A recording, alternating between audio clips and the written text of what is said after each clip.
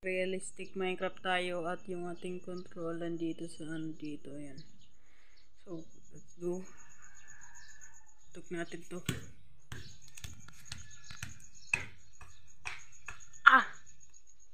ah ow sakit